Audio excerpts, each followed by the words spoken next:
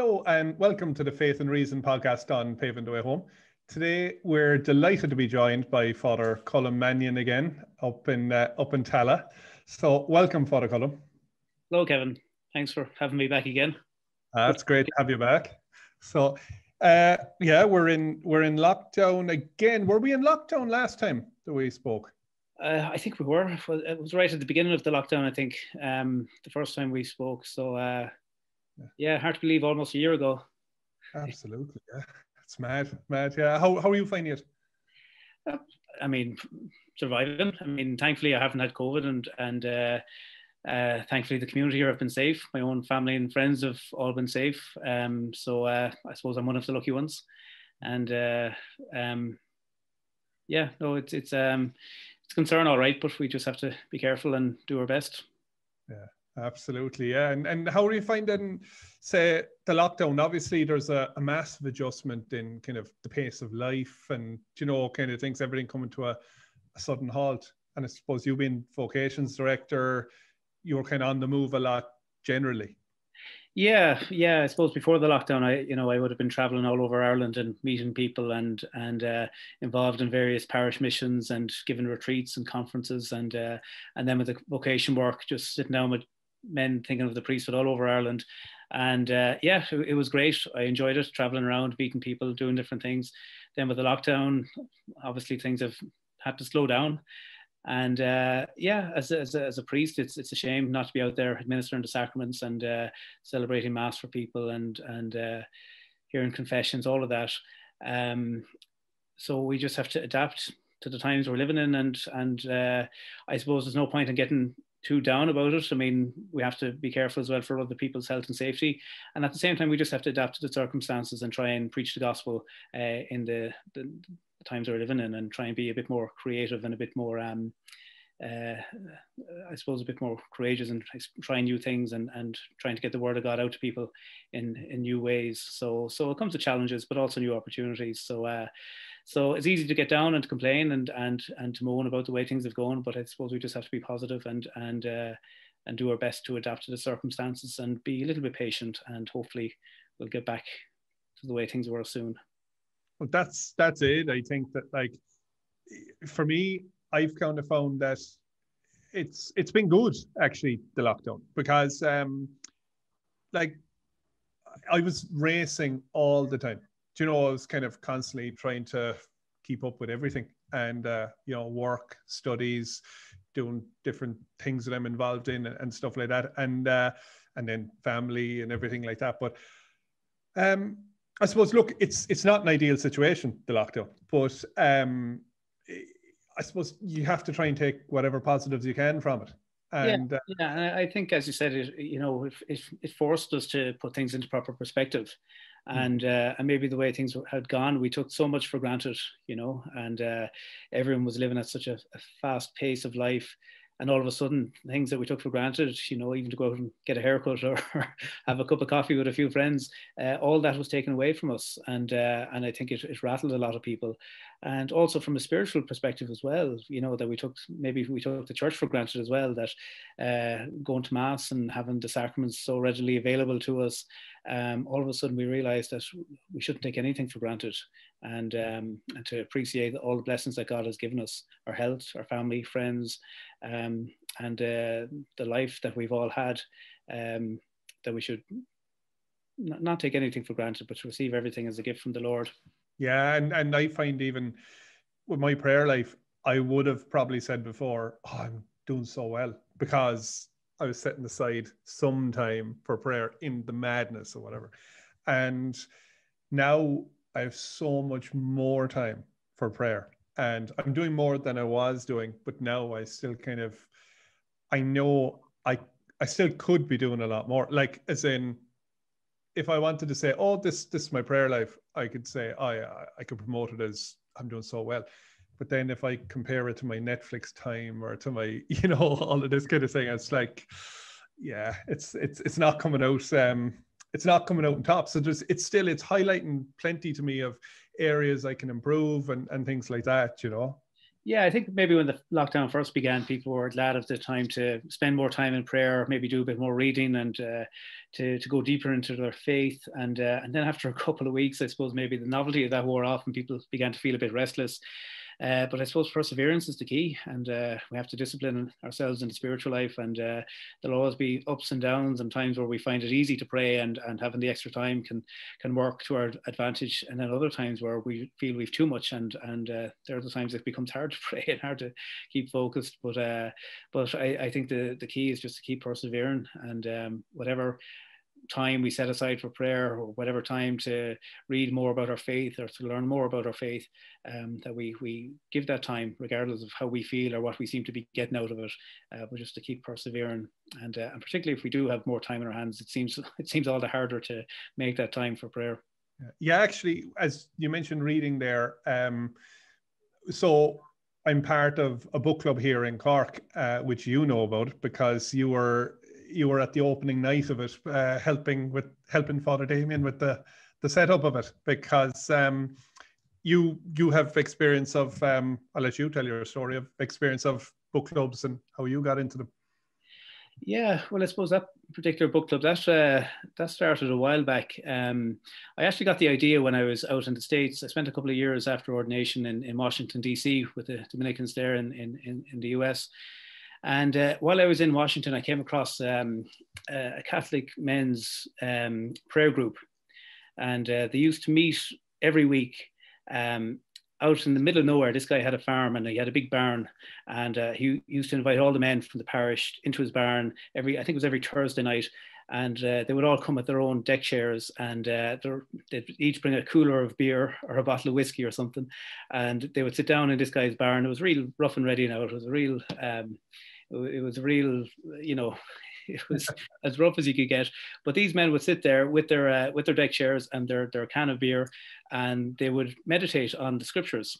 They'd each bring the missalette for the uh, for with the with the Sunday readings, and uh, they would pray over the um, over the readings, and then have a discussion about them.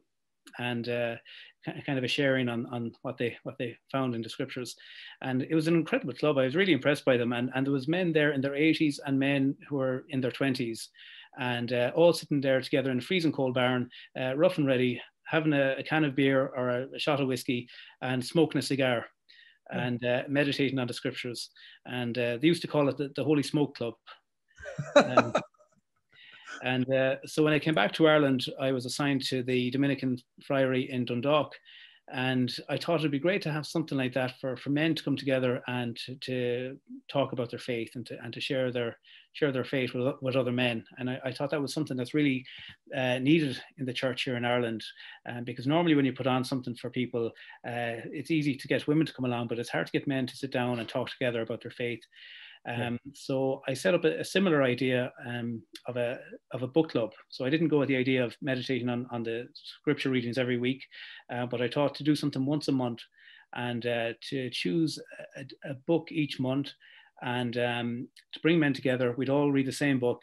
We'd go off, read the book, come back again a month later, and have a talk about it. And um, and I decided not to do it in a barn or anything like that, but I thought we'd do it in a pub. Yeah. So, um, and the reason for the pub was just, I suppose, an attempt to evangelize the culture. You know, it's, it's kind of easy to put something on in the parish hall or something like that. Um, but I thought, why not bring it out into the culture and have a group of men sitting in a, in a regular pub in Ireland uh, talking about their Catholic faith and sharing it with each other. Um, so we used to call it the In Vino Veritas. Um, which again is it's a little bit of a play on the Dominican motto, which is veritas is the word for truth and uh, the, which is the Dominican motto. And in vino veritas is a, it's kind of a Latin expression for the, the truth comes out in wine. So it seemed like a, an appropriate name for a, a, Catholic men's book club meeting in a pub. So, so that began in Dundalk, and uh, the club took off. And then, um, and then Father Damien, Father Morris, the Dominicans in Cork, invited me to, down to Cork to uh, give a bit of inspiration, maybe to get a similar club going in in Cork, and um, and that seemed to take off. Thank God. And in the meantime, then I was assigned from Dundalk down to Tallaght in Dublin. So I set up a similar group in, in, in Dublin. And uh, that began almost two years ago. And it's gone from strength to strength. And uh, we, we had a pub in Dublin that we used to meet once a month. Uh, but since the lockdown, obviously we couldn't do that any longer, but we moved it onto Zoom and we continue to do it. So we meet once a month, the, the fourth Wednesday of every month at half eight, we meet on Zoom and pick a different book each month. And a group of guys talking about the book and what they've got out of it. And I always say it's, it's not an academic thing. So it's not that you have to, you know, come up with some kind of deep insight or it's not that you have to study the book in great depth. Uh, sometimes most guys don't even finish the book, but but it's just uh, it's just to get a discussion going really that we've all read something and that we've all put a bit of effort into learning something over the month and then coming together and, and sharing it. And um, and it, it, builds great fraternity amongst the guys as well. You know, there's great friendships that have been formed out of it, and and good support for for Catholic men to meet like-minded guys and, and share their faith with each other. That's great. And is that open to new members all the time, or what it's open to new members? Yeah, yeah. Now I, I normally talk to guys first just to make sure that they're you know um, yeah that they're that they know what they're getting involved in and uh, so I, I, wouldn't really just put out the, the zoom details at random um, because you wouldn't know who would turn up um, but but if anyone wants to get involved, they can certainly get in contact with me, and we are definitely open to uh, inviting new members in. Yeah, well, we'll put your contact details up down uh, after this, or we'll put it in for Spotify and Google Podcasts and iTunes. We'll put it in the details underneath, and with YouTube, yeah. and we'll put up your your details there for anyone who wants to get in contact. Going back to that was Washington, was it?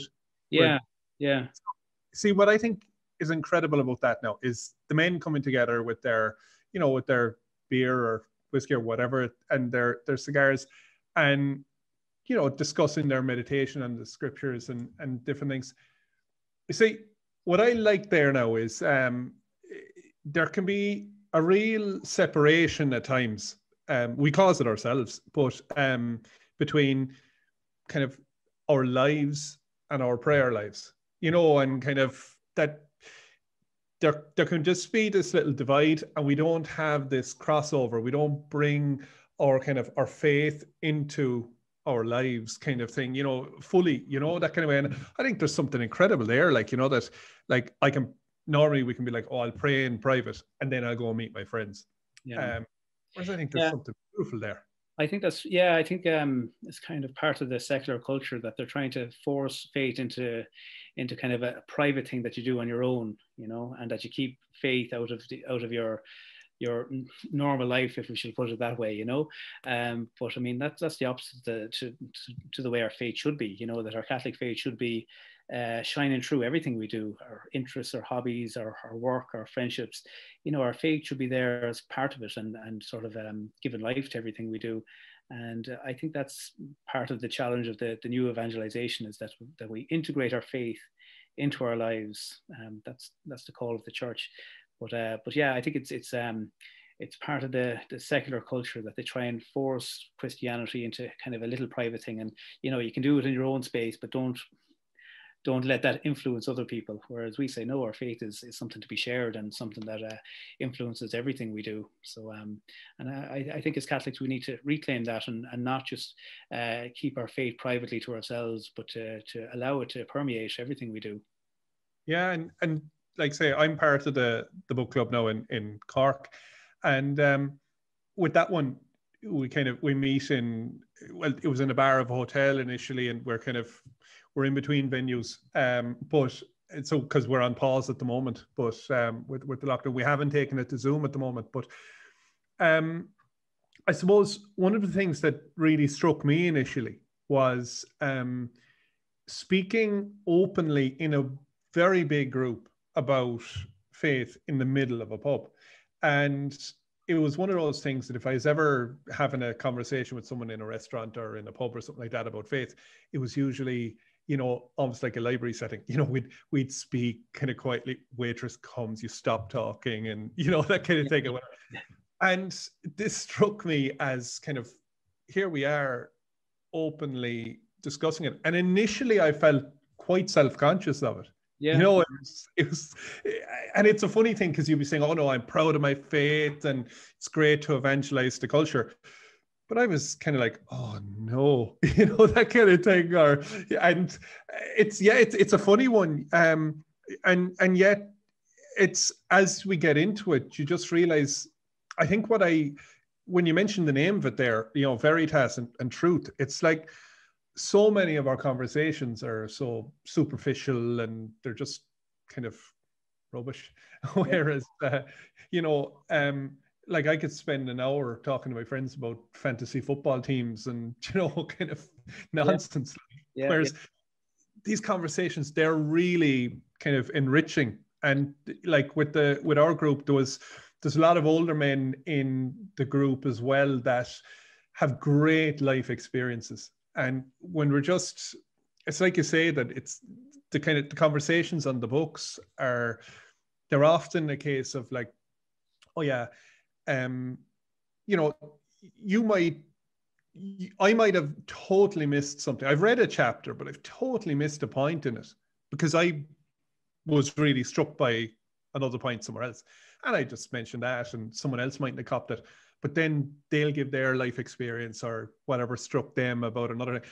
and just discussing all these things you come away so enriched from it you know yeah i was reminded there as you're speaking of you know the great um, phrase by st thomas aquinas where he, he, speaks about how grace builds upon nature you know and uh, i think sometimes we think that the, the the supernatural you know the spiritual life has to be something separate you know um, uh, you know, you have your normal, regular life, and then you have your holy life. But uh, but Saint Thomas Aquinas says no, that uh, that grace builds upon what's normal. You know, so it's it's the, the regular conversations with family and friends and the the simplicity of life. You know, and despite our weaknesses and our failings and our sins and all that, um, grace builds upon that you know so it's not that we have to be perfect and and uh, be living perfect pious lives and then we become holy or we grow in holiness but rather grace builds upon the natural you know, and and and I think you know a bunch of guys just sitting in a pub having a chat, and and the same way you would talk about football or talk about movies, whatever else, um, to be talking about the faith and um,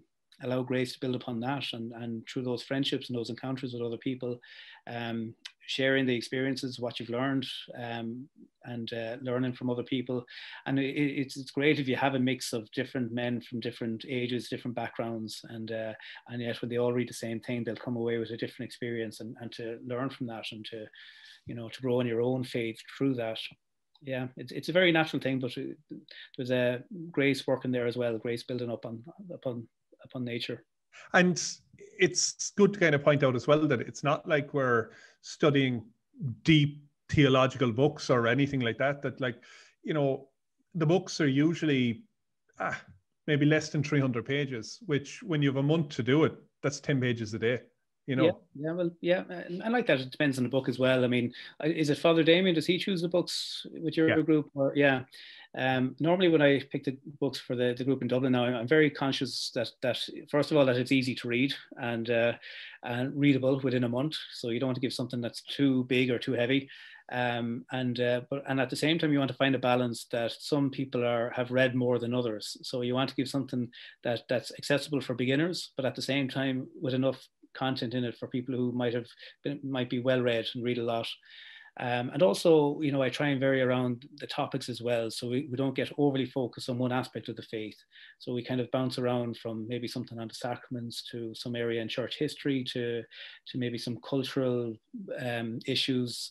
Um, and um, just to, you know, not to get too focused on, on one thing that it's not all about uh, prayer, not all about scripture, but, you know, uh, that we kind of give a comprehensive view of the faith. And and some books will click better with, with other guys than and sometimes people mightn't connect with a particular book or a particular author, um, but that's fine. But we just try and vary it around and try and find something that will will connect with as many people as possible.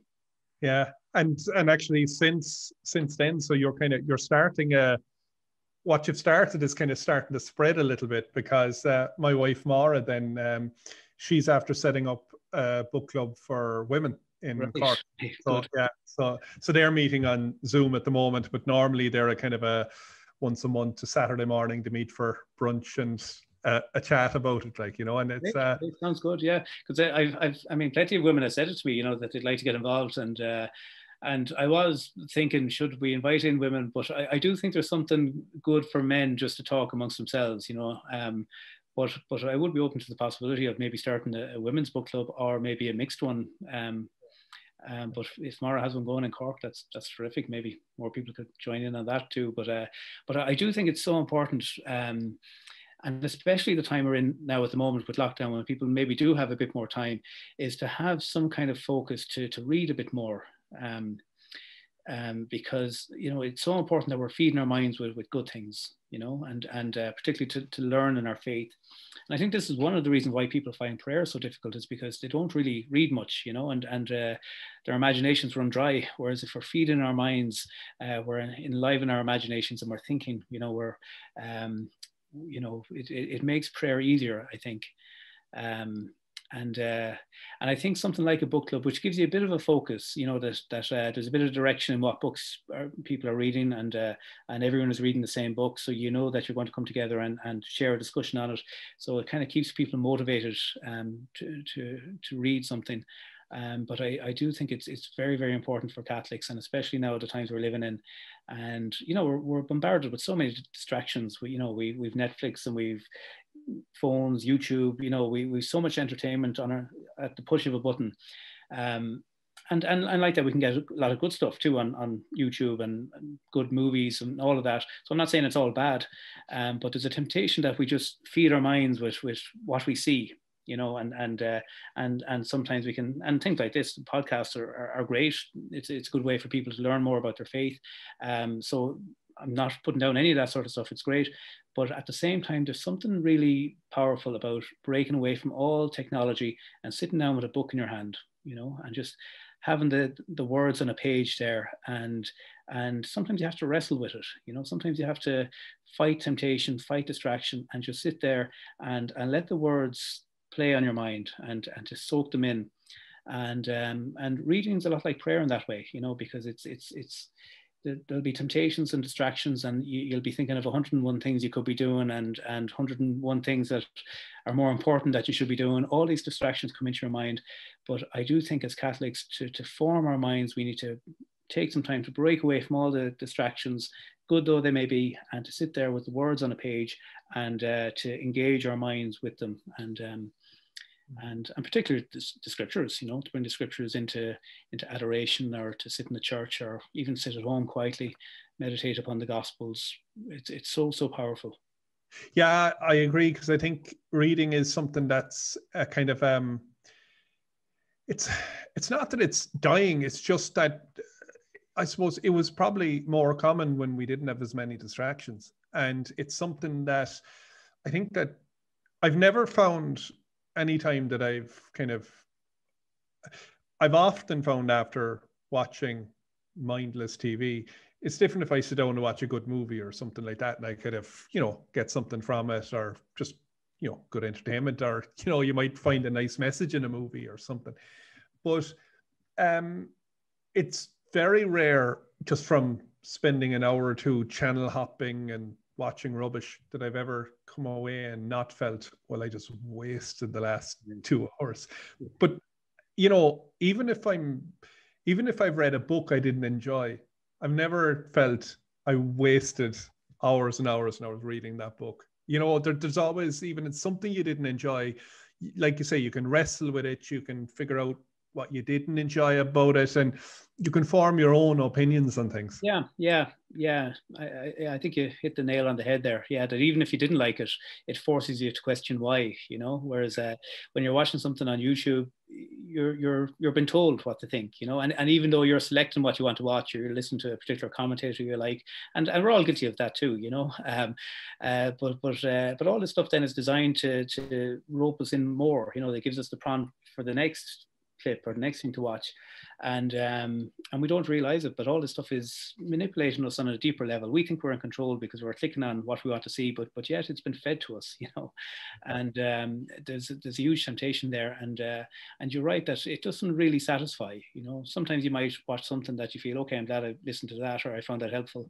Uh, but but too much of that stuff you know it, it kind of hollows you out from the inside. You just come away sometimes feeling empty and and that you've wasted time and and uh, and the internet particularly is just you know endless possibilities you know it's just so many possibilities. And, and you always think that you're just one hit away from that extra clip that's going to satisfy your entertainment but yet there's another clip that's waiting for you and it just seems to go on and on. Um, but to break away from that and just sit down with a book and um, you know think of having a book as, as a friend you know um, um, I always like to keep books around me, and you know, when you have a good book and, and you finished it, and you kind of keep it to the side, and even just when you see the book, you might flick through it again, and you, you remember things, and and uh, and um, it can be it can be it's like having a friend with you sometimes, and it doesn't necessarily have to be strictly theology or philosophy. Sometimes you can read a good Catholic novel or or even even a good secular book that might have a good Catholic message. It, it can it, can it can help you in your faith, you know. And, and there's a lot of a lot of good Catholic fiction writers out there that I always recommend and, and encourage people to explore and to, to look into. And and one thing I love to do, by the way, whatever little bit of pocket money I might have, um, I, I, love to buy books and give them to people, you know, and and uh, and even for gifts or you know Christmas presents or um, whatever it is, I always like to give a book as a gift to someone, and um, I, I, get a little kick out of that when I give a, good book to somebody, something that I've enjoyed reading, and then to pass it on to them and, and knowing that they have it, and uh, especially if they read it and they come back and tell me they liked it. but even if they don't, so long as they have it there in their home and, and keep it on their bookshelf, it's I, I think it's it's a nice gift to give someone. Yeah, they, no, I, I agree because there's um there's a couple of books I've I kind of really recommend to people uh, from from a fictional point of view. I love Father Elijah.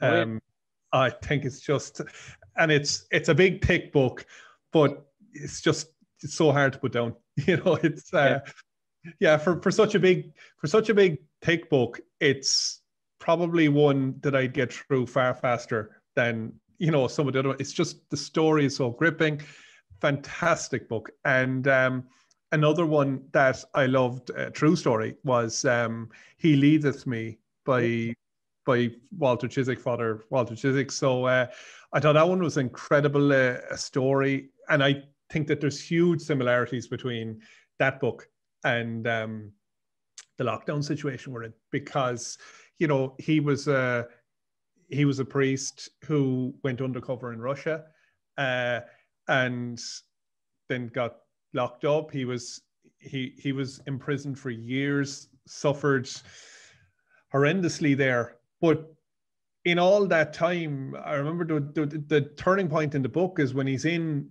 prison and he's kind of like battling the authorities, and it's like, oh, poor me, I'm persecuted, and you know they're they're so wrong or whatever.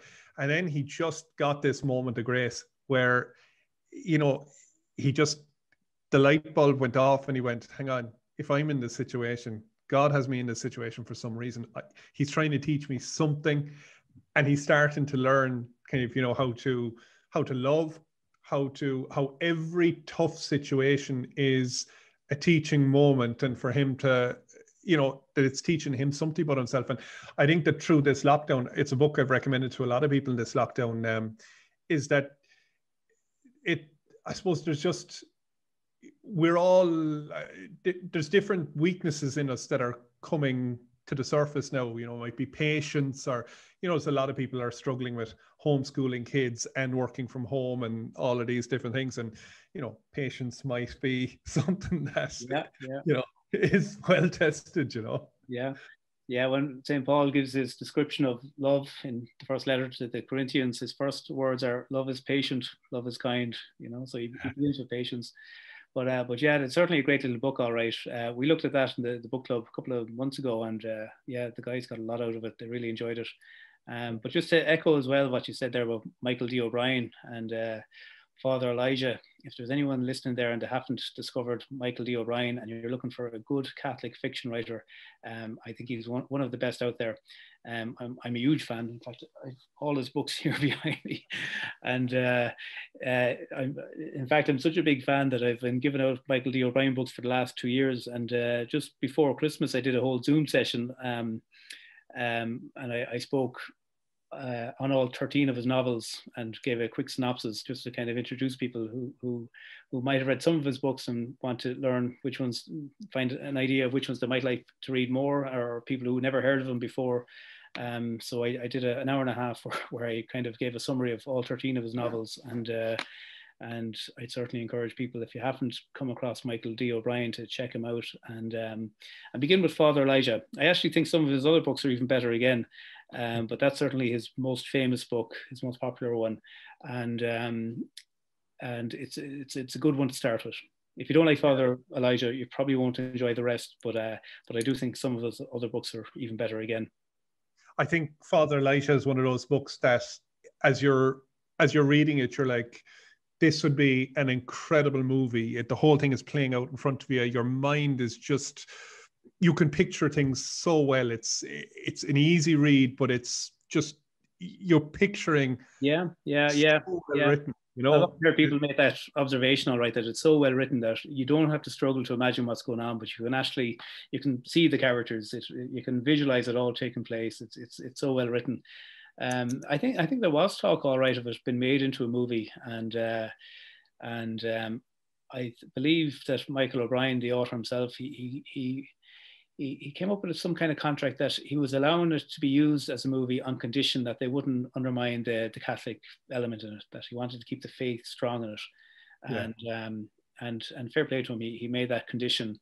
And and I think for whatever reason the movie didn't happen, but but you know he stood his ground that he wasn't going to allow it to be made into a movie unless the um, unless unless the faith aspect was was upheld in it, which is you know he's he's, he's a Yeah, I, I think I read that he wanted approval of whatever scripts, and I think a few have been presented, kind of movie scripts for it, but he hasn't approved them simply because, and I can totally understand it. It's his masterpiece. Yeah. So, yeah. know, Yeah, and, and part of me would love to see it being made into a movie because it would reach a wider audience. And then there's another part of me that thinks it's it's such a good book and so well written that obviously you know a lot will be lost in in, in a movie. Um. Yeah. So so yeah, maybe it's just one of those you just have to persevere and read if you want to get the story. It's true, and and it it touches again on something that you kind of mentioned earlier um, about books kind of help our prayer life because when you're reading that book, everything is you're starting to picture things so well that I think when you go from there and you go to a piece of scripture and you're reading a story, your mind is now attuned to picturing things. Yeah, and you can experience the scriptures at another level than just you know it's uh, even little things like okay i'm going to say this weekend but by the time this will air it'll be probably last weekend uh, in the you know in the gospel you've got jesus's um you know the, our peter's mother-in-law was sick and you know jesus comes and takes her by the hand and you know whatever. And i suppose like from that side of it, now looking at it, it's like, you know, you're looking at the whole situation. You're like, this is someone, she was unwell, she was struggling, she was suffering. And you're kind of picturing this. And it's like Jesus came and rescued her and she serves him. And then you kind of you think about that and you start thinking, yeah, I I was lost there for a few years.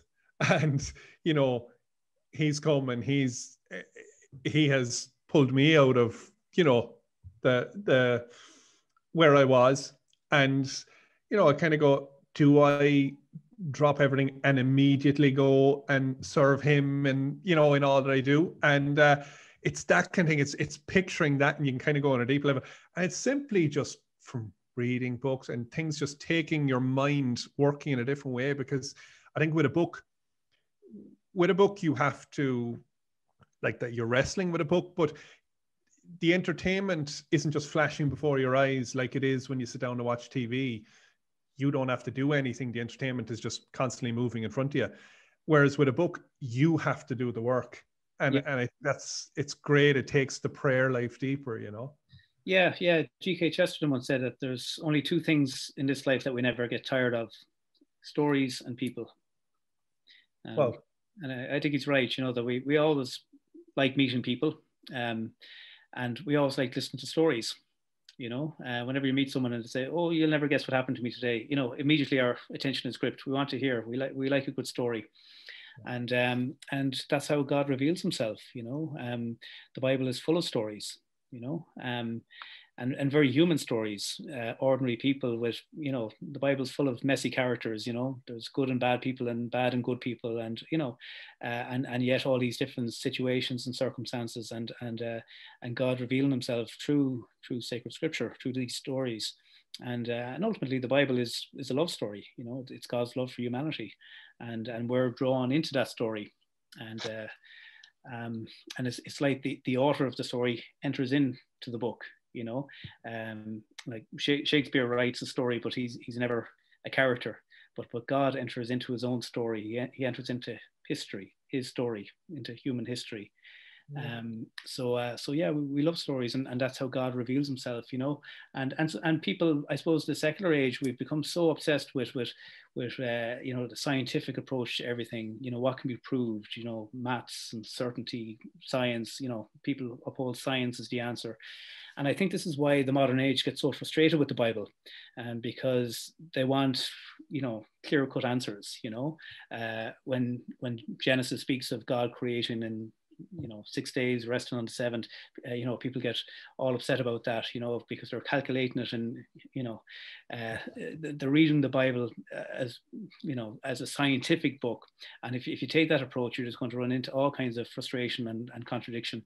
Uh, but you have to see the, the, the bible as, as, as, a God, as god's story to us and his revealing himself in our way of understanding you know that God is coming down to our level and and showing himself in, in human situations and and Christ you know God himself becoming incarnate and um, and inviting us into that story. So um so yeah I mean God doesn't reveal himself in a kind of a in, in kind of like in an instruction manual, you know, like when you, you buy something from IKEA and you get the little sheet with all the, you know, fitting things together.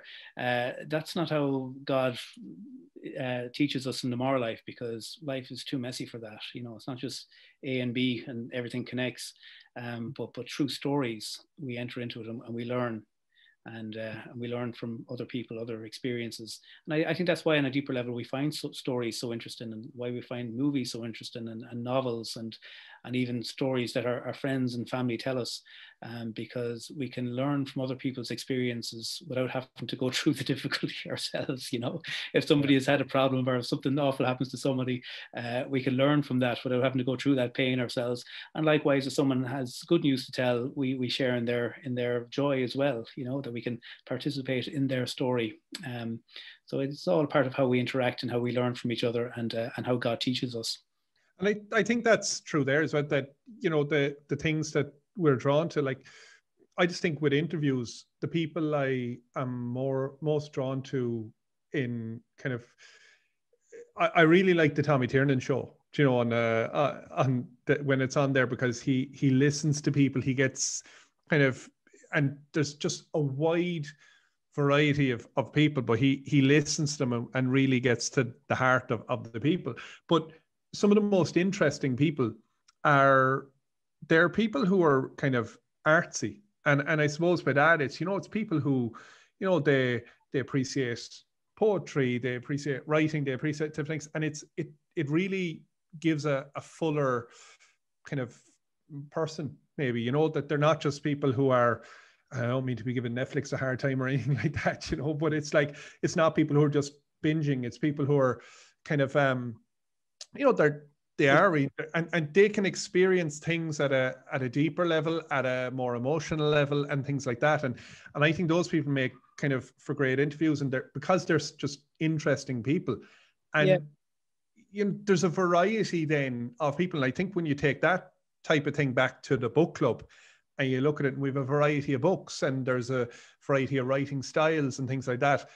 And then like you say the bible has such a variety of genres in it that once we become kind of more accustomed to reading a, a total variety of different things, again, take it into the into the scriptures and it just blows it open for us. Yeah, yeah. I think we're um, when pe- I think what you're talking there is you know people who are creative. That that always fascinates us. People who are willing to take risks and try something, and people who are willing to, um, you know, as you mentioned, people who are creative with, with maybe writing or, or poetry or art or filmmaking, whatever it is. Uh, also, people who are creative with their minds, people who think differently, people who are have a different outlook on things, and you know, even political commentators. You know, we, we find them interesting if they have a different angle on things. Uh, we're attracted to that sort of uh, creativity, um, and it doesn't mean that we're all particularly good or you know we're not all great artists or great writers or whatever. Um, but but I do think that uh, that to be creative is to you know to almost share in the life of god because you know god is creative. The holy spirit is always creative you know he's always active always doing something. And um, and uh, and i think we find that really really attractive. We're drawn to that. And um, and I think the more we can lend ourselves to that, regardless of our gifts or talents, it doesn't mean we have to be particularly good artists or whatever, uh, but to have some spark of creativity in us, uh, it, it, it, brings a bit of life into the world, and and um, and I think especially for the times we're living in at the moment, when there is so much doom and gloom out there, and, and people are stuck at home and fed up and whatever, um, I think it's a challenge for Christians to go out there and, and be creative. You know, um, to to try something and and to try and bring beauty into the world.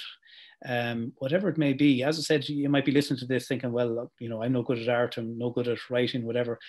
Uh, but even just something small, uh, writing a letter to a friend or sending a card, or you know these little things that are uh, little gestures of of uh, creativity, you know. Um, and I think there was a lot of that going on during the lockdown. You know, people learning to bake and you know uh, improve their homes or painting the shed or whatever. But but I think doing something with your hands or something creative, um, it, it lifts us out of ourselves and and it, it's it's um, and I think this is part of the reason Pope Francis called the year of St. Joseph, um, uh, which is something I was hoping to talk to you about actually, because if, if you read that letter, the apostolic letter that Pope Francis um, gave on the 8th of December last year, calling for the year of St. Joseph, uh, there's a little phrase in there which I really, really love. And uh, he talks about creative courage and uh, and I, I, love that phrase creative courage. And you think of saint joseph um, that he, he was creative he was a carpenter he was making things with his hands um, but he was also courageous you know and uh, the difficult tasks assigned to him to, to care for the, the, the Blessed Virgin and, and the baby Jesus and to flee into Egypt and everything, you know, the, the, the challenges set ahead of him. He didn't moan or he didn't complain, uh, but but he he was creative and and he he took, took responsibility and uh, took charge of the situation and um, and I, I, think that's why he's such a, model for us in these times we're living in, and that we can be creative and, and courageous. And uh, St. Thomas Aquinas, to go back to Aquinas again briefly, uh, when he talks about um, beauty and bringing beauty into the world, uh, he he connects it with the the four cardinal virtues. Um, and uh, you know the four cardinal virtues these go way back to the ancient greek philosophers. You know aristotle had, had worked this out uh, that uh, prudence fortitude justice and temperance that these are the four virtues in which all the other virtues hinge upon. That's why they're called the cardinal virtues. The other virtues are hinged upon them. Uh, but St. Thomas talks about beauty in the world, and uh, and he says that if we want to bring beauty, if we want to bring creativity into the world, uh, the two virtues that are needed are first of all temperance, um, which kind of makes sense that we have to uh, discipline our appetites and our passions. So we have to learn to cut away from Netflix, or at least discipline ourselves that we don't binge watch, or you know we don't veg out in front of television. That we we order our passions because by discipline disciplining our appetites, we're we're ordering ourselves towards beauty. We're more open to it. Um, but then the second virtue St. Thomas Aquinas speaks of when he talks about beauty, and, and I find this very interesting. It's uh, it's fortitude what we would call courage. Because to to enter into beauty to and to, to, to seek to be creative uh, well you have to take risk. You have to step out. You have to try something. You have to be bold and courageous. Um, so so those two virtues go hand in hand. You have to moderate your your passions the virtue of temperance uh, but then you also need fortitude. You need strength of character um, and uh, the willingness to to make yourself vulnerable you know to try something that may fail you know? Um, but but to do it and, and try and be a little creative uh, it, it, involves a certain amount of risk uh, but we need to be courageous and um, and I, I, think that's what, what's needed for the, the times we're living in at the moment um, to bring a little bit of beauty a bit of joy into the world and uh, to be um, have creative courage.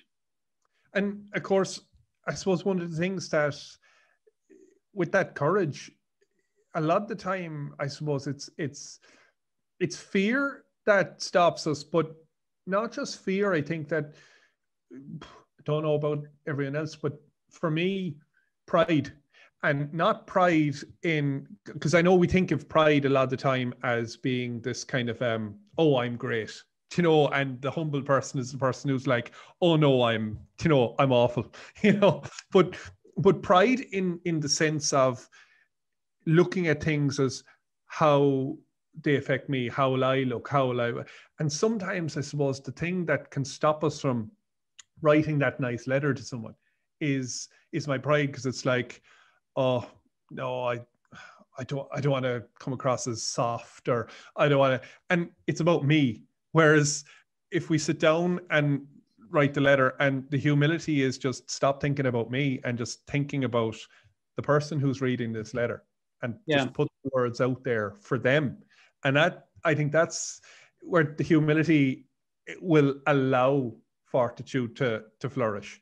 Yeah, yeah, and I mean maybe the, the writing letter is kind of a silly example, but I'm, I'm just trying to give well, yeah. very big yeah. an idea. Yeah, yeah. but uh, yeah, I mean I think it goes back to what you were saying that that's I mean that's why we find creative people so interesting when we see them being interviewed and people who are willing to explain what they did, what they tried, and what they were successful at. Um, I suppose we also forget that people try many things and they don't end up on the Tommy Tiernan show or whatever. You know, um, that people do fail at things, but but uh, but you know, so what? You know, you, you try to do something and, and bring a little bit of joy into the world, a little bit of beauty, and um, and sure, what about it? You know, and uh, and whatever it is. Um, but I, I think the act of doing it is, is more important than the success or failure.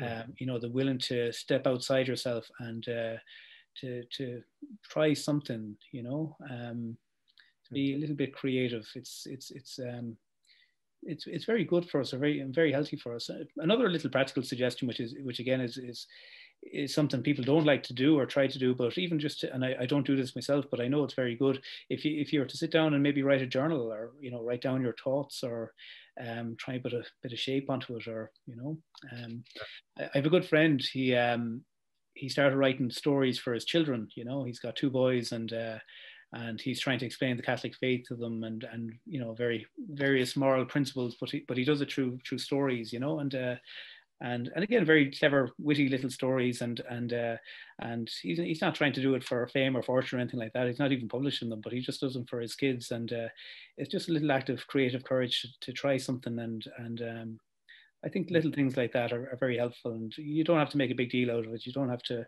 um, put your work on display for everyone to see, but but even for, for, your own sake, just to just to try and do something a little bit different and to explore parts of your gifts or talents that may you may never have thought of or looked at before. And um, that's that's beautiful, and I think you know eh, the thing there as well is that I, I know I've read before about different um, children's authors. Some of the most successful ones didn't start out writing something for it to be published.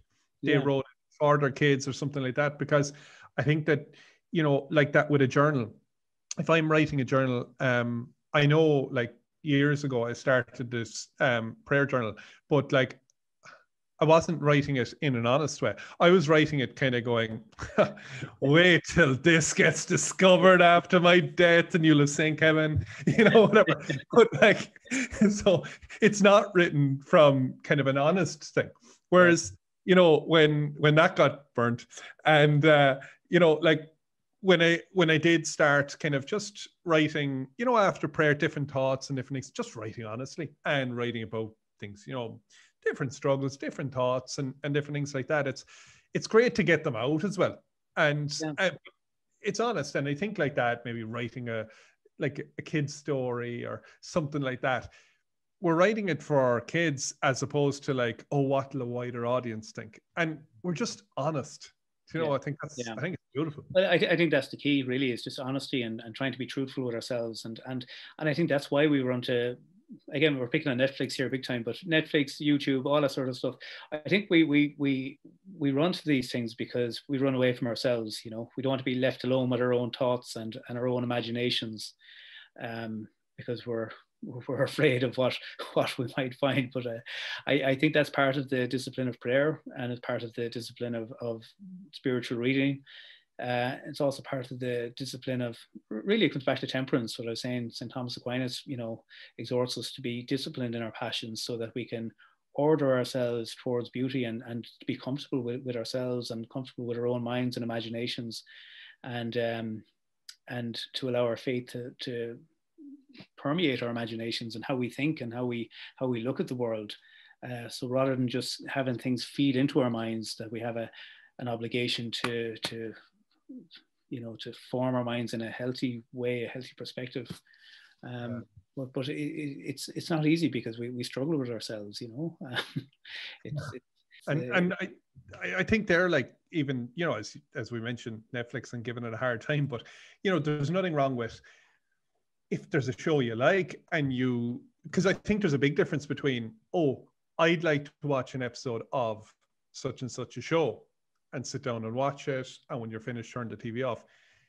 But a lot of the time it's like I just want to fill time. So I flick on and I just look and then I find something that clicks and I binge and it's just, you know, watching hours of it, just killing time as opposed to, and again, the temperance might be, you know, that that thing of I'd love to watch another episode of this, but I'm going to wait till tomorrow for the next episode.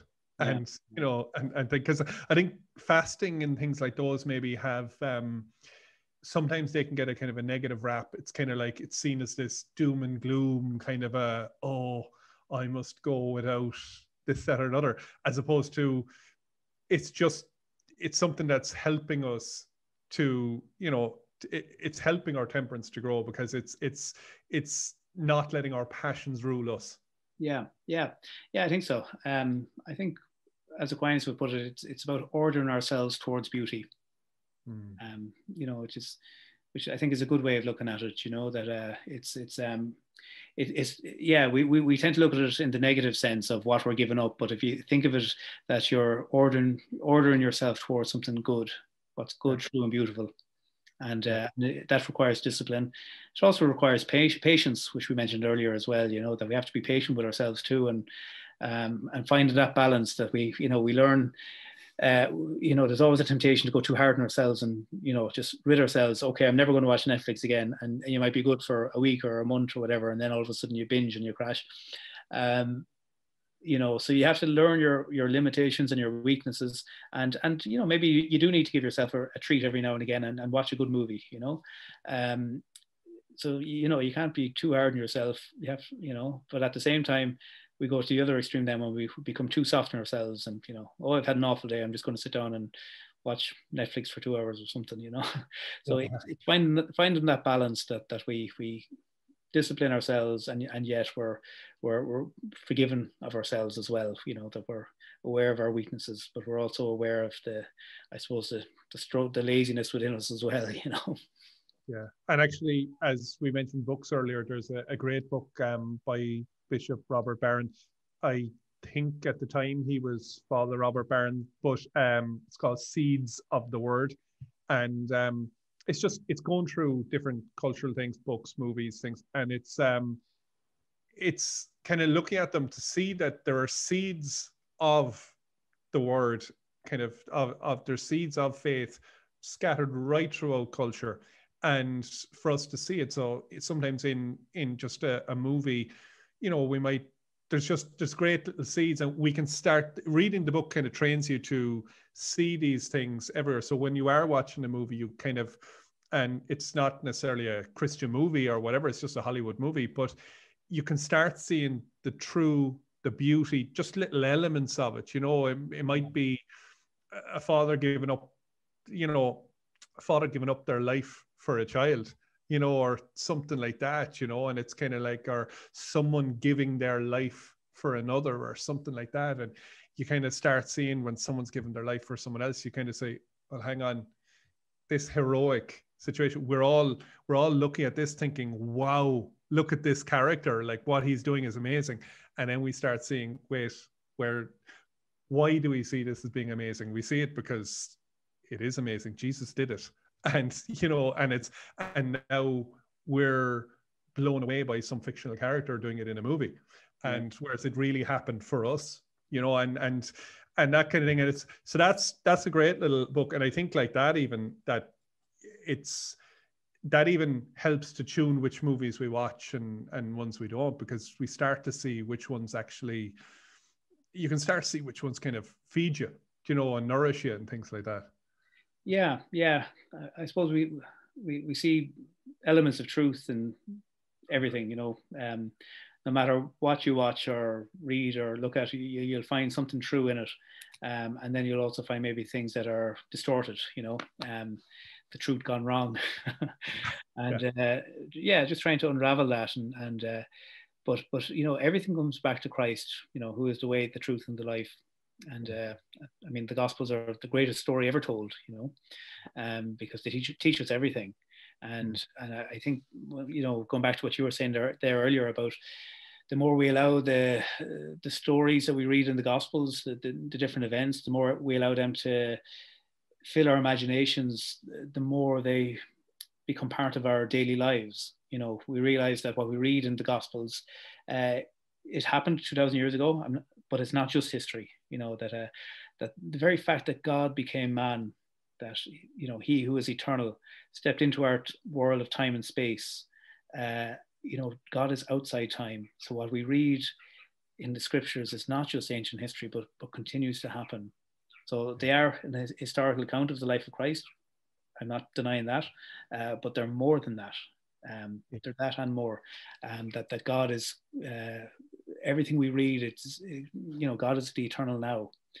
Uh, you know, always new. And the Holy Spirit is, as I said, He's always creative. He's always at work, and uh, and when we can allow our faith to um, become real in that sense, that we we see it, um, we see it in our imaginations, we see it unfolding in the drama of our lives.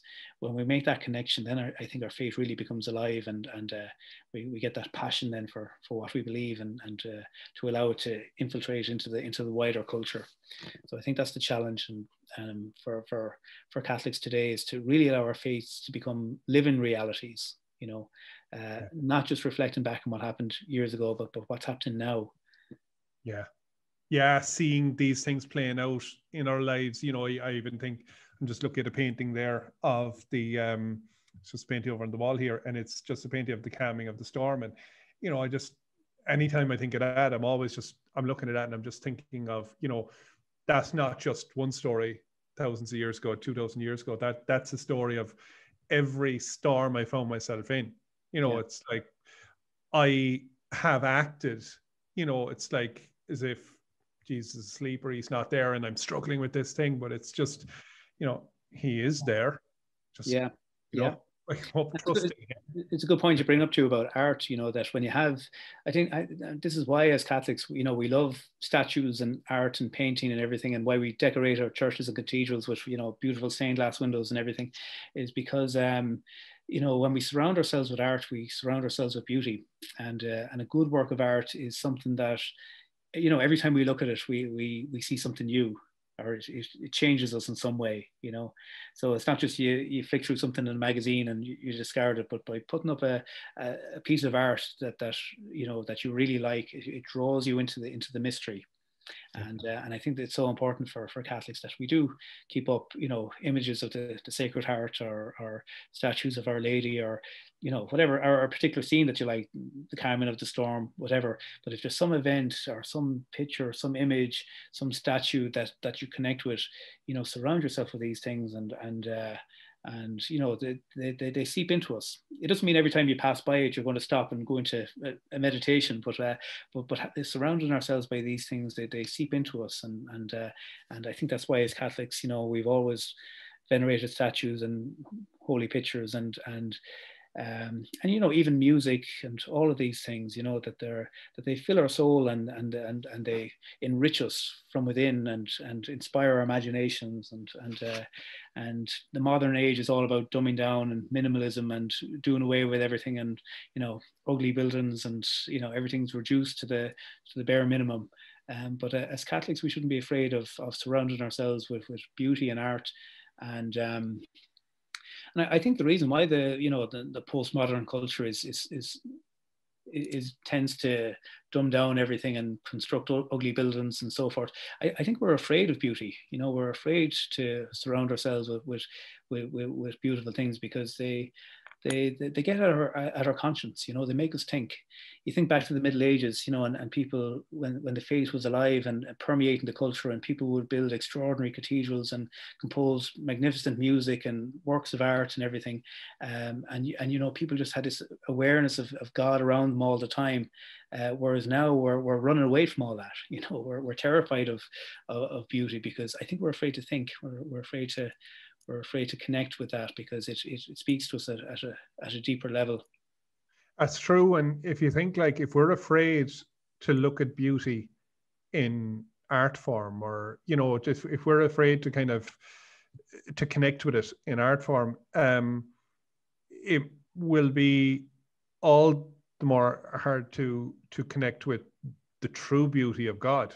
You know that because we'll be afraid and we'll we'll run from that if we can't connect with with these things. Because you know it's i suppose with with art as well what i like about it is um and i'm by no means you know kind of someone who knows anything about art but i, don't, I don't know a lot about it myself either so i'm, I'm kind of no but i think like what what i like about it is um you know sitting there watching tv or a movie right? And um we're even kind of subtly the the producer the director whatever they're telling us what to think. They're telling us who to like who not to like.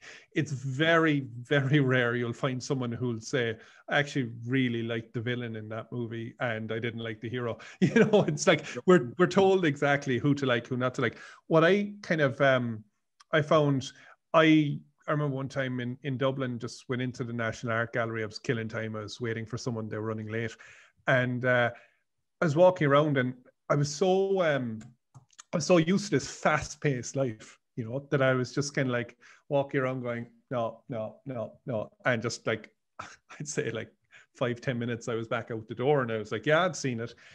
Whereas, you know, then kind of as as things kind of slow down, kind of grown faith and things I can now look at a picture and kind of go, mm, I don't know, I don't even know what I think of it, and then I kind of go, and that's what I like. I like to just sit down then and go, I don't know why what I think of it. I know I'm drawn to it.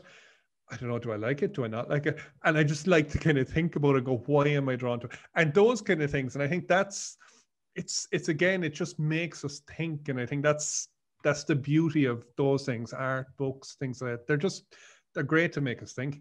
Yeah, yeah.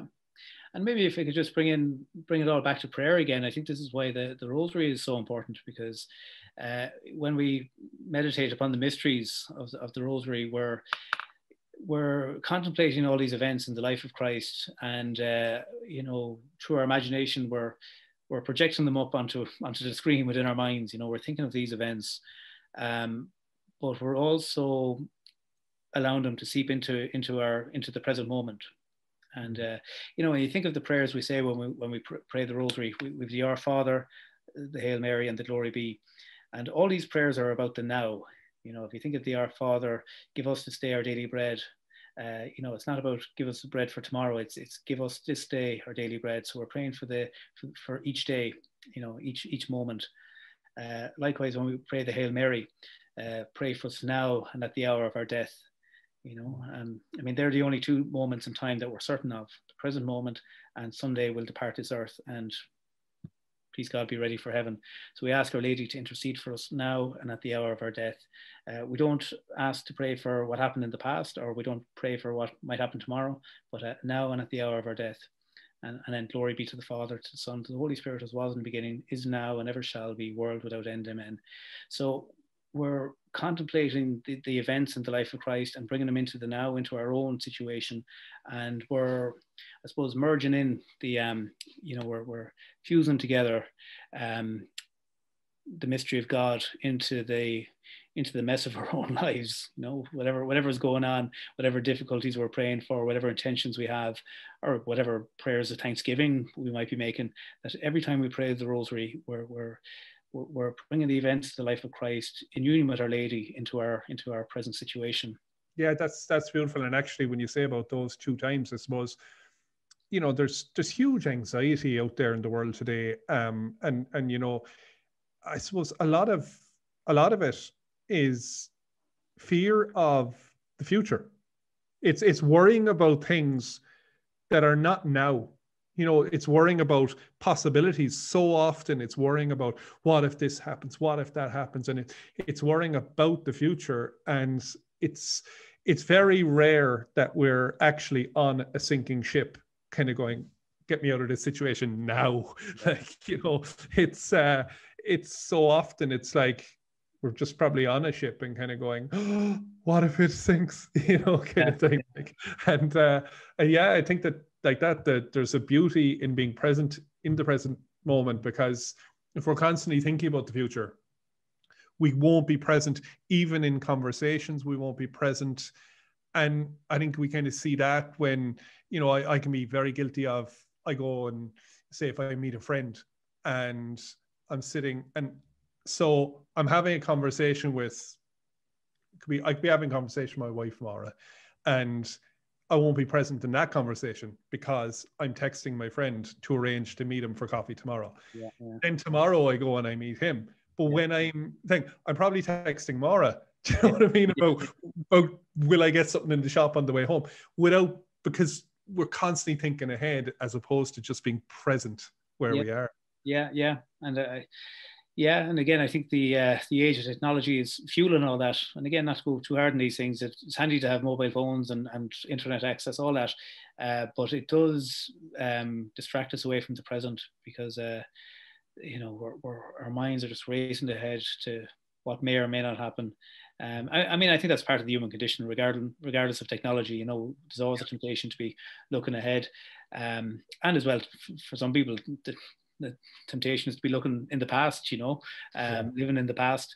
Uh, I suppose we're all a bit guilty of both of those extremes. Um, but um, but I do think that the present age, when there's so many distractions, um, it, it takes us away from the present moment, and and we deliberately have to make a, a point of cutting away from everything and just being in the now. And and again, back to temperance, you know, maybe there's, there's ways we can discipline ourselves to moderate our distractions. Uh, you know, if, if we do meet a friend for a cup of coffee, we'll leave the, the phone in the car or at home or whatever. And, um, you know, we're not going to. we always have temptation that we, we feel that, well, I better bring it just in case there's an emergency. But really, yeah.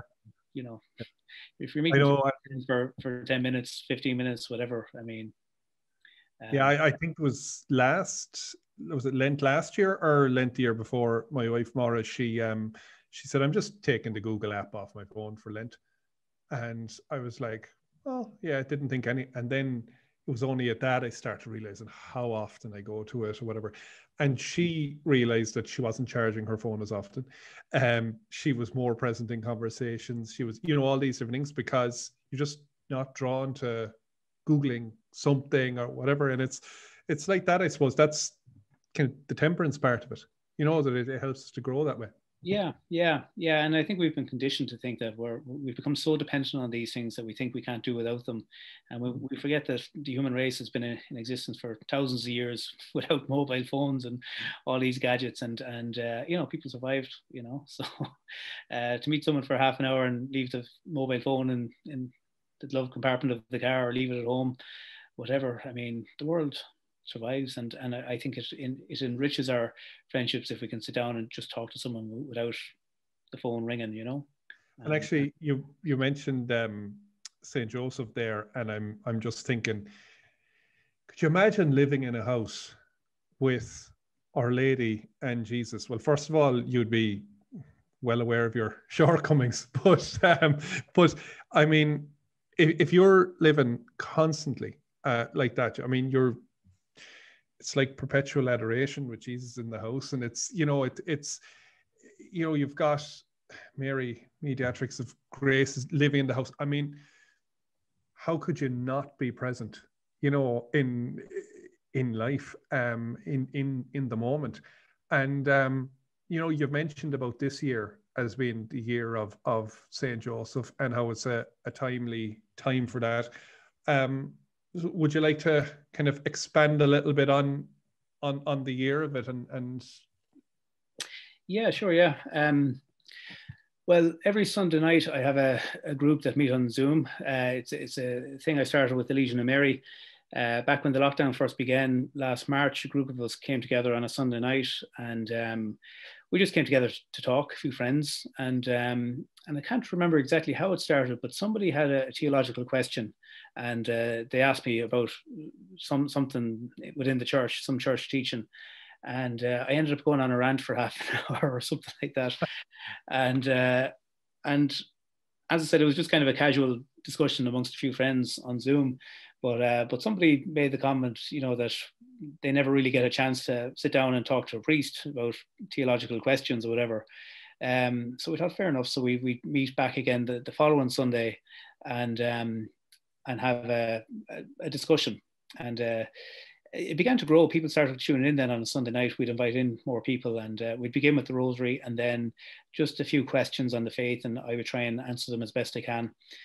And uh, we, we, we called it uh, Flunk the Monk, a little bit like, you know, the, the Flunk the Friar that the, the Youth 2000 group do. Um, so it, it just began to, to grow over the weeks and we kept it going throughout the, throughout the lockdown.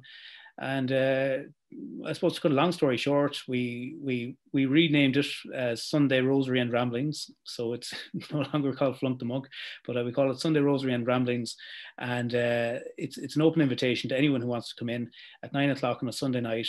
And uh, as I said, we begin with the Rosary, and then I'll give a little twenty-minute presentation on some aspect of the faith, and then it's an open discussion for half an hour or so. So the whole thing lasts about an hour and a half. And um, and the numbers have grown. On average, now we get 150 people, I think, on a Sunday night. And uh, wow. and if anyone out there would like to come in, you're more than welcome. We'll we'll maybe post up the, the Zoom details or something like that. Um, and how many can you facilitate? Uh, I don't know. Um, uh, ah, we'll we'll find out. yeah, well, we, have we've never hit the target anyway, so yeah. I don't think people have ever been left waiting to get in. So uh, so, uh, so we pick a different topic, but it's the same Zoom details each week, and uh, we normally do up a little flyer each week and send it out to people. So we have a mailing list too. And um, how, how, can people get on that? Um, well, I suppose if they wanted to email me, um, I, I, can give my email address, and if people want to contact me, I, would be happy to add them to our mailing list, and uh, um, and we can let them know about it. I also saw the flyers on, so we'll we'll get in further to vocation side of things later. But mm. you have the website. Is it Irish Dominican Vocations? Yeah, that's right. Yeah, yeah, that's a good point. Yeah, I put up the little flyers on the. It's uh, www.irishdominicanvocations.com. Dot com. Perfect. IrishDominicanVocations.com. Yeah, and the little flyer for Sunday Rosary and Ramblings goes up on that. So, um, but uh, it is the same Zoom details each Sunday. So even if people don't get the flyer and they if they have the, the code, they can tap in any Sunday. But but we would we would like to people to receive the little flyer. So by all means, if they can get in contact with us, we can add them to our mailing list or check on that website, IrishDominicanVocations.com, and you'll see them advertised there. Um, sorry, all of that is a long way of getting around to St. Joseph because uh, well, two, three weeks ago, um, the topic for our Sunday Rosary and Ramblings was uh, the year of St. Joseph and why it's so important. And out of that discussion, uh, we came up with the idea of doing the 33 day consecration to St. Joseph on Zoom. Um, a lot of people had mentioned that they were preparing to do it and uh, would like to do it. So I put together a, a group that will um, we will pray it every day for 33 days, beginning on the 15th of February uh, to conclude on the feast day of St. Joseph on the 19th of March. And the idea is that at 8 p.m. every day for those 33 days, we'll pray Pope Francis's prayer for St. Joseph and we'll do the daily readings, the meditations in preparation for the 33 day consecration. And then we'll conclude with the prayer for vocations through the intercession of St. Joseph. So it's a way for people to come together in a online praying community and uh, to do the consecration together um, while also keeping that particular intention of vocations as well through the intercession of St. Joseph. Now, so we've used kind of um, some big words, kind of overthink words that can uh, frighten people. Like I know the word when you mentioned about the Sunday ramblings there, uh, theological questions, things like that. And I know someone might go, "Oh no, I I can't go into so, like theology that's so deep that's what but like theology is the study of God. So the the, the questions are not like it's not like professors coming along and like asking you questions. The questions are just questions that are designed for us all to learn more Yeah. and things that people don't understand or they want to find out more about or something. Yeah, no, it's, it's all very relaxed, and the idea is it's it's Sunday night. I mean, it's begins at nine o'clock, goes on to half ten on a Sunday night. So it's it's it's uh, I suppose it's just a way of of uh, counteracting the TV culture. You know, I'm sure most people on a Sunday night just relax in front of the TV, and we thought, why not do something that's um, that's not too heavy, um, but yet maybe informative and. Um, and, and even the theological questions, you're right. I mean, sometimes it's it's more of a, a chat and a discussion, and and you know, people just have comments that they want to make or ideas that they want to share, and and uh, um, so it's it's by no means heavy. It's it's it's you know very down to earth and very uh, very informal and relaxed and and um, yeah, as we'd say down in Offaly, a bit of ground hurling, you know. So it's, it's I think no, I think I think that's lovely, and I think you know Sunday being the Lord's Day, you know we start with mass, but often when we get out of mass, it kind of slips away from being the Lord's Day and more of a day off and a day for sport and a day for whatever. So it's, it's nice to finish it again, you know, with with yeah, yeah. It just seemed like a, a nice way on a, on a Sunday night, just for as I said, it started just amongst a group of friends on a Sunday night coming together to talk about the faith, and, and then it just grew and grew, and uh, and at this stage 150 people on average. Some some days it's a bit more some days it's a bit less. Um, but um, but there's a consistent crew that are there every sunday and and uh, and uh, a few regular faces and it's it's it's it's a nice thing to be part of. And and we always encourage people as well to keep their um, keep their cameras on you know even though they might be on mute so there's not too much background noise. But we encourage people to keep their cameras on if they can. Not everyone does of course um, but but it just builds a sort of sense of community that you you know you can see everyone there in their different homes and you know it's, it's something uh there's something nice about it. Um so it's not just yeah, looking at that car down yeah.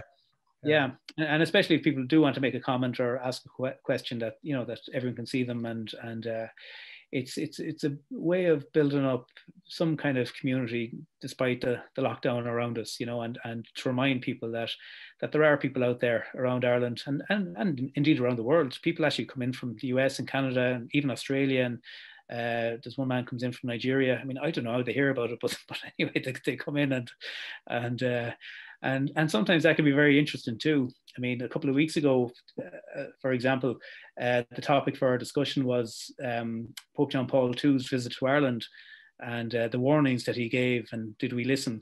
So I, I went through the different homilies that Pope John Paul II gave in 1979 and picked out different warnings that he was um, looking at in, in Irish society and, and, you know, some very profound insights he had. It's, it's amazing uh, if anyone goes back online and reads those homilies to, to see what John Paul could see happening in Ireland in 1979. But, uh, but anyway, we, we, had a good discussion on, on that. And it was particularly interesting when the, the American people spoke, you know, the American people who were joining in on the discussion and their perspective of Irish Catholicism and, and, and uh, what they had to say about how they could see Ireland changing over the past 40 years or so. Um, so it's, it's, it's, it's interesting, you know, to have people coming in from different places around the world and, and uh, yeah, it's, it's, uh, it, that's beautiful. So again, like that, anyone that is watching or listening to this kind of from around the world, it's a, it's a, an open invitation. So yeah, absolutely. Yeah. Yeah. And, and, and if I could just mention one other thing, Kevin, if you don't mind, uh, a similar thing we do on, on a Friday night, again at nine o'clock on Friday, um, we have uh, what we call Fridays with Frank. And uh, this is based on the, the writings of the servant, servant of God, Frank Duff, who was the, the founder of the Legion of Mary. And uh, and an extraordinary man, really. And and uh, he's written numerous essays and articles that have been published over the years. And um, every Friday night we come together to discuss a different one of his essays. Um, so and, and like that, we can send them out to people in advance if people want to read them beforehand. And um, and then there's a panel of us that that discuss the, the essay and then we open it up for discussion. So, um, so that's every Friday night at nine o'clock. Fridays with Frank. Um, particularly if you're interested in, in, the Legion of Mary and and uh, and the writings of Frank Duff. Uh, but even if you're not, even if you've never heard of Frank Duff or the Legion of Mary, uh, he's an extraordinary mind. And um, and I've been in the Legion for nearly 20 years now. And I remember when I first joined the Legion, I read a lot of Frank Duff, and then I kind of parked him aside for a bit. Um, but I, am only coming back to him now and really discovering just what a great mind he had and and uh, uh, as a layman, he'd you know really really profound way of of, of um, looking at human psychology and how people think and how people interact and uh, and merging in the faith with that as well. So it's, it's very practical stuff with very rich theology. So his essays are really extraordinary and, and quite profound. So um, so that's something we that just began a couple of weeks ago, and it seems to be seems to be growing too. People seem to enjoy it. That's Friday nights, and again, we can put the so what we'll do is we'll put your email address and people can people can just email you and ask if they just want to put in the in the title of the email um just kind of mailing address or something yeah, like yeah, that. Yeah, I mean, or if they want to specify if they're interested in the Sunday night, not the Friday session, or, or if they want both, whatever, uh, there's no problem at all. I'd be happy to, or even if they even if they just want further information, or if they if they don't know what what I'm talking about here, they just want some more clarification. Um, yeah, no, by all means, anyone can contact me on my email, and and uh, I'd be happy to respond to anyone, whatever queries they have, or whatever way that they'd like to get involved. Everyone is welcome. That's great. And uh, so we'll, I want to come back to Frank Duff and the Legion in a minute. But before we do, we've just started talking about the St. Joseph consecration. And when I was saying about some of the big words like theological questions or whatever, consecration is another word that I know I've mentioned before that there's um, the 33 day uh, one to consecration to Our Lady, and now you know, lately over the last year, the St. Joseph one has become quite popular and uh, it's been promoted a bit. And um, I suppose I, I mentioned someone before and they asked, like, said, what's consecration and why would you do it? And I was like, uh, and I couldn't put the words. So I'll let you answer. Well, the first thing I'd say is that the consecration to St. Joseph goes hand in hand with the consecration to Our Lady because I mean, who's the first person to practice true devotion to Our Blessed Lady? Well, it was Saint Joseph. Um, you know, and and I think a lot of people are very familiar with the um, the consecration to Our Lady, particularly Saint Louis Mary de Montfort's uh, preparation and consecration that he's outlined, and that's been practiced by numerous saints, the likes of Pope John Paul II, Mother Teresa, Padre Pio, uh, and even some of the you know the Irish people. I mentioned the Legion of Mary, you know, the founder Frank Duff. Uh, the whole Legion of Mary was founded upon the spirituality of St. Louis Mary de Montfort and the consecration to Our Lady. That was practiced also by the likes of Edel Quinn, Alfie Lambe, uh, even Irish people that were not members of the Legion of Mary, such as Matt Talbot, you know, huge, huge devotees to, um, to this idea of consecrating yourself to Our Blessed Lady. And, um, and the idea is that you, you make an act of, of self-giving to, to Our Blessed Lady um, and uh, you consecrate yourself to her that all you you give you give to her uh, that she will pass it on to jesus um, and uh, and I think the, the consecration to Saint Joseph is, is a leading into that, or it kind of works in union with that. That you're you're you're immersing yourself into the into the Holy Family, the life of Jesus, Mary, and Joseph.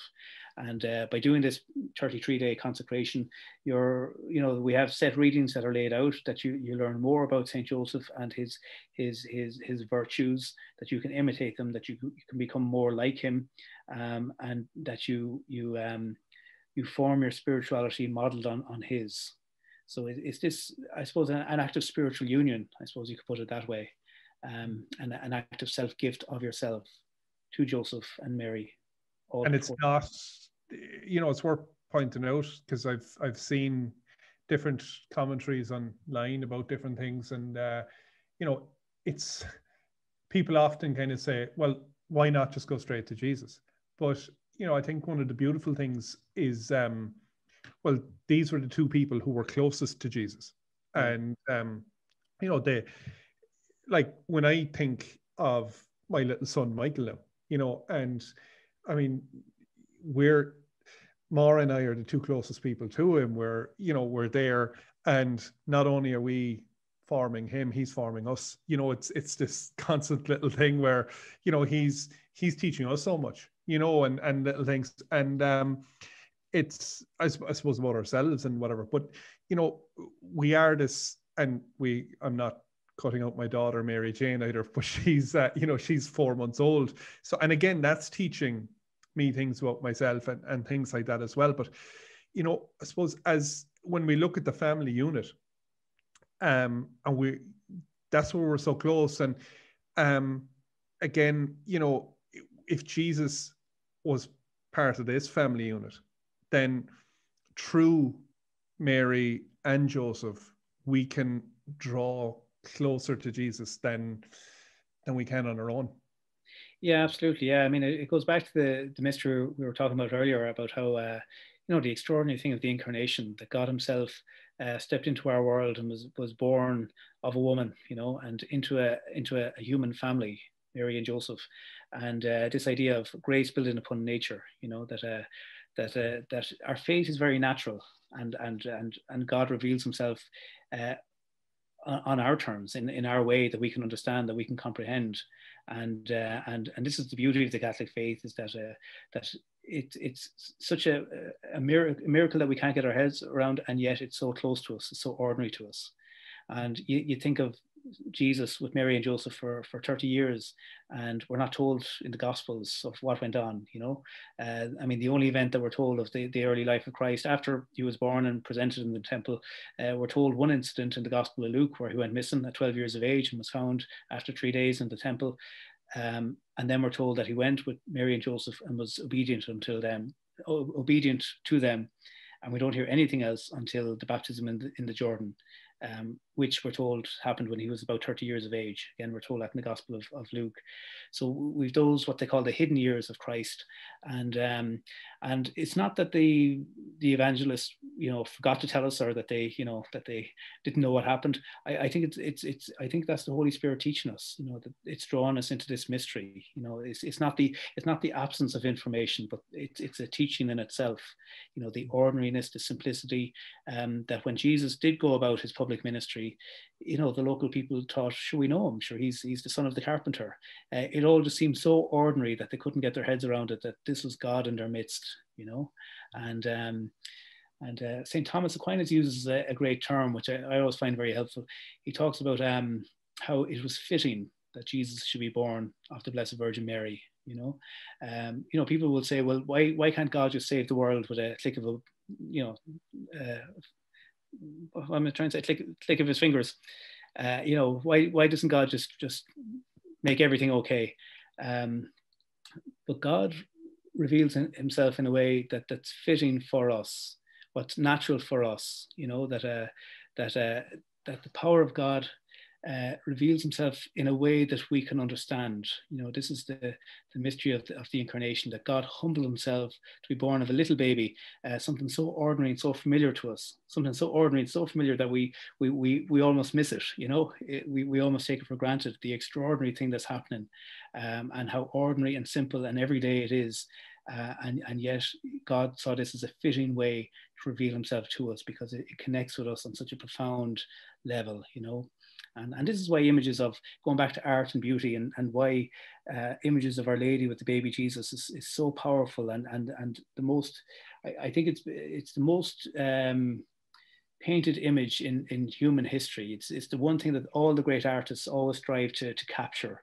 You know, they all, all the great artists always, you know, painted the Madonna and the child, and all the great composers always wrote music about Our Lady and the child, uh, because there's a, a, something so powerful and so uh, so deep about it, and yet something so ordinary and so human as well. Um, that here is the, the, the, mystery of God uh, in the arms of, of the Blessed Virgin Mary, and, and uh, it, it's so fitting for us in our human condition, and, and yet it, it's it's something it's so powerful as well that this is God Himself speaking to us in, in in our terms and in a way that draws us into the mystery and uh, and I think going back to the idea of the consecration, then it's it's just a way of us to uh, in, enrich our faith and to enliven enliven our faith and our devotion. Um, you know, a consecration is not a it's not a legal contract or anything like that. It's not it's not bound by any vows or anything, but it, it's more an act of love, really, that we can expand our hearts to to to accept that love on a deeper level, and and learn from the saints yeah, know? learn by their example. You know, to to meditate upon their their what they went through and uh, and to, to learn from them and and to to be inspired by their example and and to imitate their virtues and and uh, to be formed in uh, to be formed in their I hate to say to be formed in their spirituality. That doesn't really sound right, but to be uh, to, to have our spiritual lives enriched by uh, by the power of their example. And yeah, then that's yeah, that's beautiful because I, and it, you know, it requires a, a humility as well. You know, to kind of be able to say, no, look, you know, obviously, you know, we can't do everything on our own. You know, but that takes a humility to admit it. You know, as well, and and to to seek help.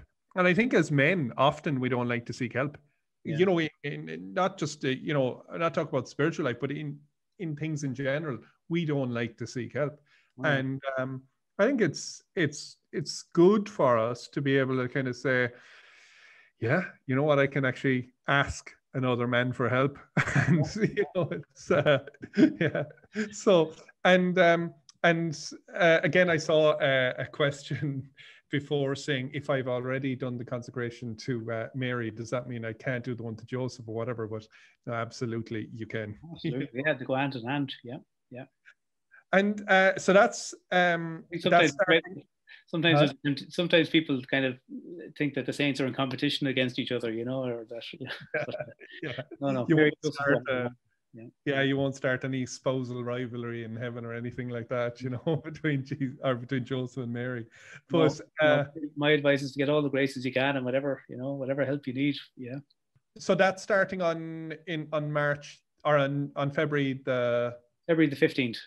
Fifteenth. Okay. And we'll put up what we'll do is we'll put a, a flyer on you have a flyer on that. We'll put that on our Facebook page Okay. Uh, we'll put it on our Instagram page, and um, also it'll be part of your mailing list. Sure. Um, yeah. Yeah. I mean, if anyone wants to contact me about that too, that's that's no problem. Yeah, yeah. that's great. And um, yeah, and if anyone wants to contact you about all of the things, you can just put it in one email. Sure. yeah. yeah. And, and, again, just to point out the the website www.irishdominicanvocations.com.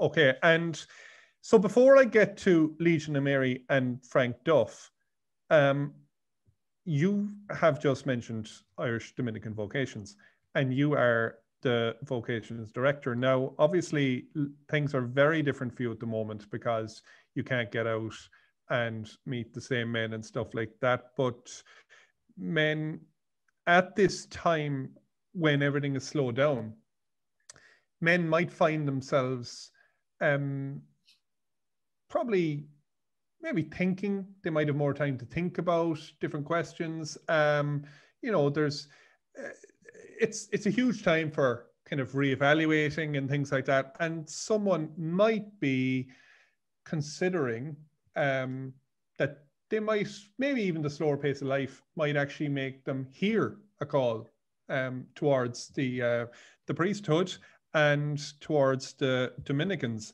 so if that is the case, you are the man to contact. And uh, just because you can't get out does not mean the Dominicans will not be taking people in. So they, no, no, yeah, always happy to hear from people. And uh, yeah, and if, if, if there's anyone out there who is thinking of the priesthood or wants to learn more about Dominicans, I encourage them just to get in contact sooner rather than later. And um, and even if it's just a vague curiosity, well, why not just give me a shout and we could just talk about it.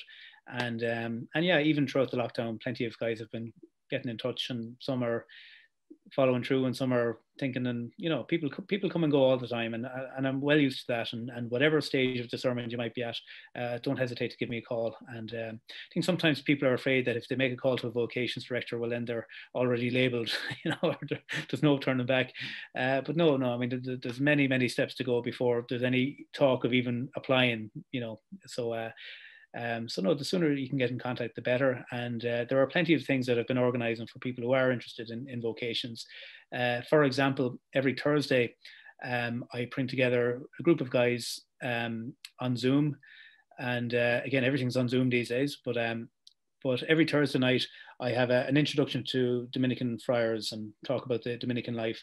and I, I invite in a different Dominican um, to talk each Thursday night um, on various aspects of the life and different ministries people are involved in, and uh, a particular emphasis on the formation, you know, to, to, meet the brothers who are going through their studies for the priesthood. Um, so at present, we have four men who just began the novitiate last September. They're down in St. Mary's in Cork. And we have nine student brothers who are in training for the priesthood in St. Saviour's Priory in Dublin. So, um, so I invite these young men who are in formation for the priesthood to come in on Zoom and talk to the to to, to any to, to, to the group of guys who are at various stages of discernment. As I said, some guys are keen on applying, other guys are just having a, a curious look. But uh, but give me a call anyway, and I can let you know more about those details, and and you'd be very very welcome to even just talk about it. That's great. And um, again, it'll be the same same email address. Yeah.